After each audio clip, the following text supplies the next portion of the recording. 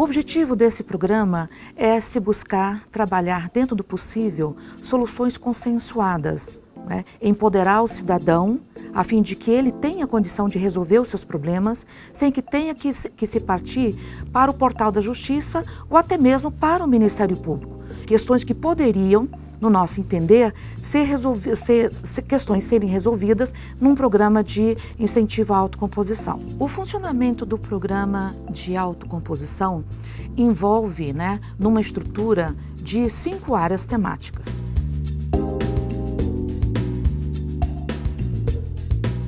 Na área civil e de família, nós temos dois projetos em andamento, né?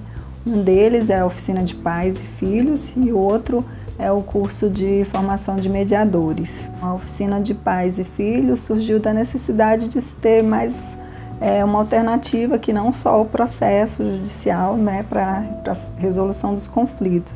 Então a oficina veio como mais uma, uma ferramenta que, a, que, a, que os promotores podem utilizar né, para conseguir na verdade, não necessariamente conseguir um acordo, mas para conseguir facilitar a convivência, uma convivência mais estreita entre pais e filhos que, se, que estejam separados. Um dos focos principais do projeto Mediação Comunitária é privilegiar que a solução dos conflitos advenha da ação da própria comunidade. Então a gente coloca essa comunidade como protagonista da solução de seus conflitos. E através de uma parceria que o Ministério Público realizou com o Tribunal de Justiça do Distrito Federal e Territórios, por meio do projeto Justiça Comunitária, foi possível a capacitação de líderes comunitários, donas de casa, professores, para que essas pessoas possam, dentro da comunidade, é, atuar na mediação desses conflitos.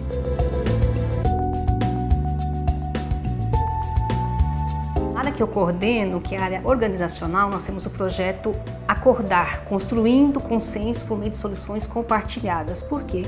Porque a escuta praticada em ambiente de ouvidoria, ela favorece essa construção de diálogos produtivos, ou seja, as manifestações que chegam aqui, feita por nossos servidores, colaboradores, terceirizados e que demonstram que há um conflito né, organizacional na comunicação naquele setor, naquela área, então a gente olha essa manifestação e já vê que ali é a oportunidade de entrar né, com essa escuta e com essa construção de soluções entre as partes. Nesse projeto a gente forma líderes nessas competências de diálogo, de comunicação, tudo né, sobre aquele enfoque da comunicação não violenta.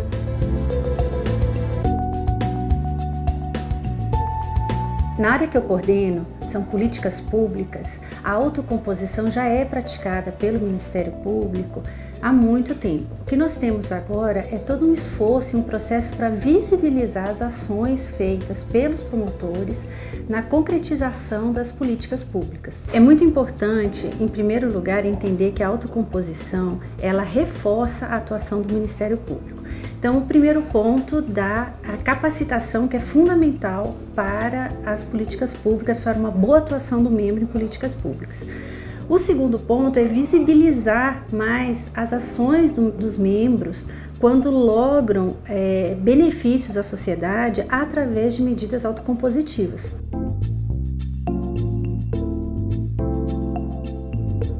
A justiça restaurativa ela surge do bojo de uma série de modificações legislativas que permitem a composição, a transação e não a observância cega do princípio da obrigatoriedade da ação penal.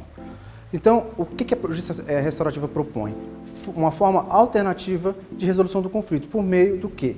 Da, do diálogo, do consenso, da voluntariedade e, portanto, do envolvimento das partes, em especial da vítima, que muitas vezes é esquecida no nosso processo penal.